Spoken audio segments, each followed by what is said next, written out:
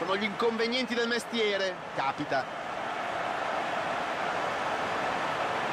Possiamo apprezzare meglio il gol visto anche da un'altra prospettiva.